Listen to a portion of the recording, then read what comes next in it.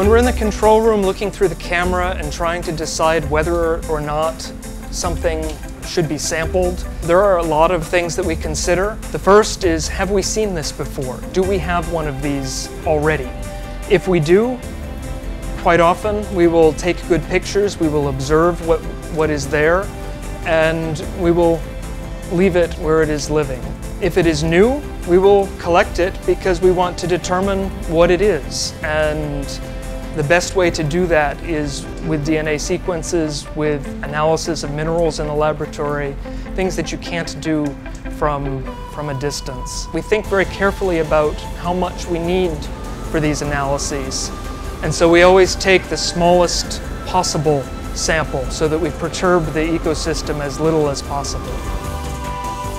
So when the ROV comes back, there's a big rush out to the vehicle to uh, bring back the animals, to bring back the rocks, to bring back the microbes.